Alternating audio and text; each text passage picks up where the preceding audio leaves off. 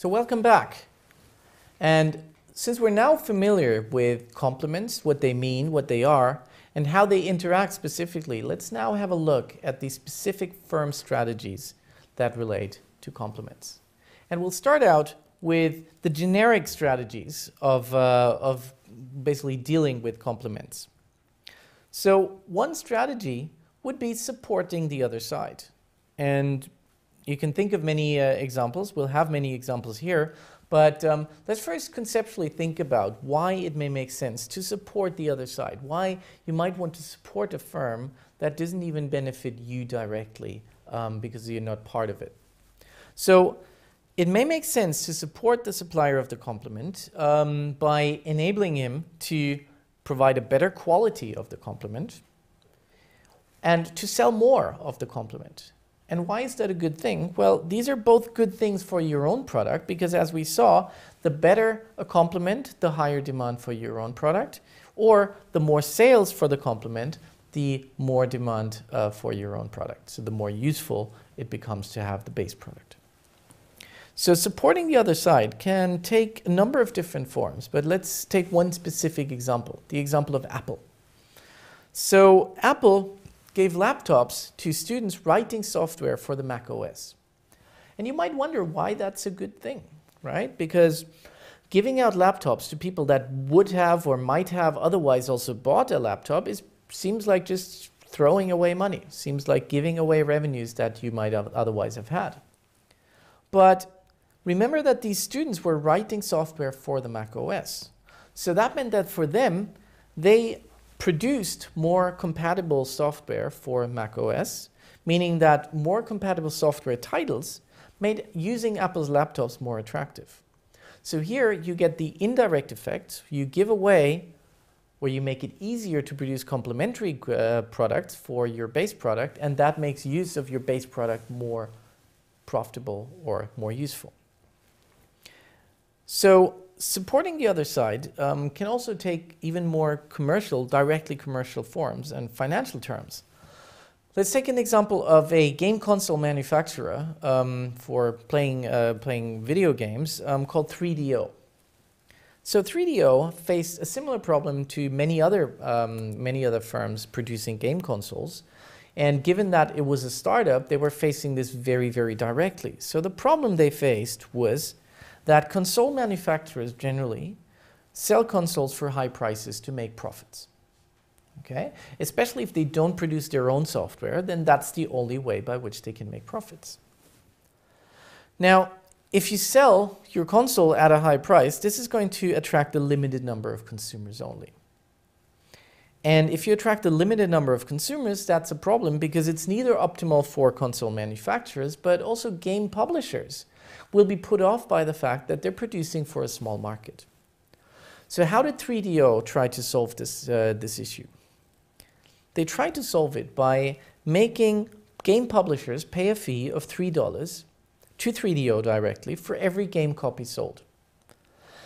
And the intuition here was that by subsidizing the console, it could be sold much cheaper. So 3DO could sell consoles much cheaper and therefore attract more consumers. This was good for publishers as well because they sold more copies because there are more consumers and eventually they increase net profits. So in other words, even though you spend money um, to support the, uh, the other side of the market, um, the base product in this case, the, the game console, um, it came back in the face or in the, in the, through the direction, through the channel of more consumers because the console then was cheaper.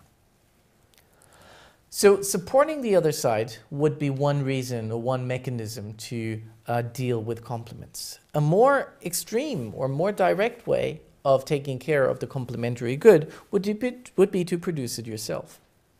And that may make sense sometimes as well. So again, let me give in a couple of examples. Sony for example, produces a game console and they produce video games themselves, which means that whenever you buy a Sony console, you know that there's going to be a number of games available produced by Sony um, that will ideally take, uh, uh, take the advantage of all the software and all the hardware uh, produced by Sony. Hewlett Packard manufactures printers, but they also um, uh, manufacture printing ink and printing cartridges or ink cartridges. So again, you produce the base product and you produce the complementary product.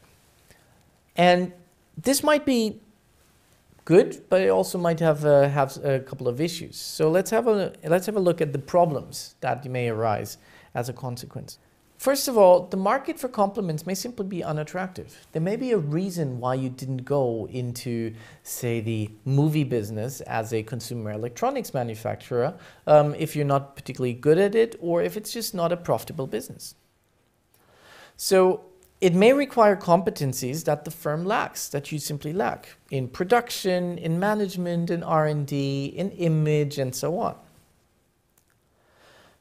Thirdly, prospective customers might simply be put off by the fact that the firm is producing the base good and the complementary good. So that puts them in a very dominant position. And so they might just be put off by this and therefore be hesitant to be locked into a system like that. And we'll get into that in the next video as, as well.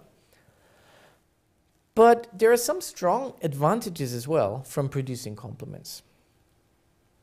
First of all, you can tailor the complement to your own product. So you can make sure that the complementary product takes advantage of the main strength of your base product and vice versa. You can exert quality control for the complement, right? One of the big problems that uh, many um, software manufacturers or many, uh, many hardware manufacturers face is that the software for the product is just not very good. And so, and uh, in, in turn, that might be a way of uh, exerting quality control, simply integrating and making sure you produce both the base good and the complementary good. And thirdly, is that simply you can make more money from doing that. Uh, you may make more money by internalizing the positive effects of the complement on your own product. So better quality complementary products mean higher utility for your base product means you can demand higher prices. Um, now, and that's what we're going to be looking in the, uh, at in the next video. We're going to be looking at cross subsidies, we're going to be looking at bundling, and we're going to be looking at increasing lock-in for a situation where I own both the base product and the complementary product. So as we've seen, in some situations it might make sense for a firm to support the producer of a complementary product or even produce directly the complement itself. So as I said in the next video, we'll have a closer look at the second option and we'll look at strategies that firms can undertake if they produce two complementary products. So stay tuned and see you in a second.